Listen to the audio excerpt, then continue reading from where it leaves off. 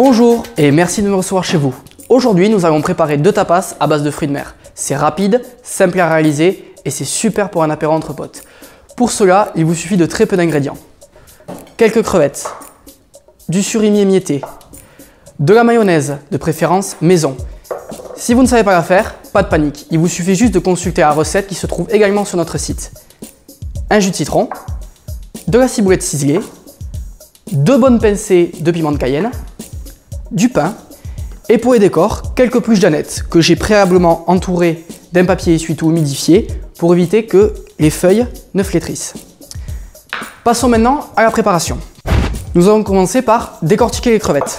Retirez la tête. Ensuite, vous tendez la crevette complètement droite. Vous prenez un petit couteau, vous passez sous la carapace et vous tirez. Toute la carapace vient. Nos crevettes sont décortiquées, je les mets dans le bol et je les réserve.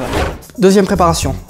Dans un saladier, je verse une partie et une partie seulement de ma mayonnaise, environ les deux tiers. Je prends ensuite mon surimi, émietté, un peu de piment de cayenne. Voilà, je mets pas tout, on rectifiera si nécessaire. Ma ciboulette ciselée. Et pareil pour le jus de citron, je vais juste mettre la moitié. Si besoin, je rectifierai. Je mélange.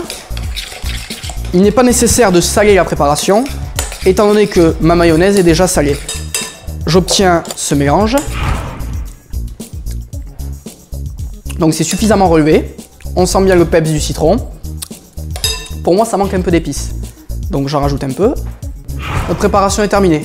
Vous prenez votre baguette de pain, vous faites avec le couteau des tranches en biseau pour que ce soit plus joli.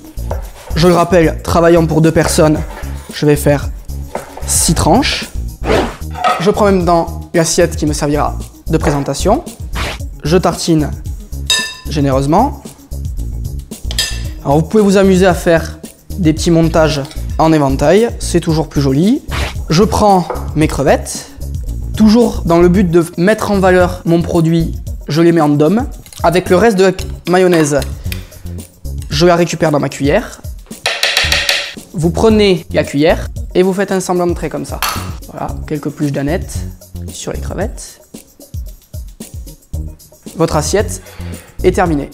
Pour retrouver les détails de cette recette, ainsi que de nombreuses autres, venez visiter notre site www.communchef.com. Si vous voulez vous perfectionner dans l'art culinaire, vous trouverez forcément un cours près de chez vous. Merci d'avoir suivi ce cours et à très bientôt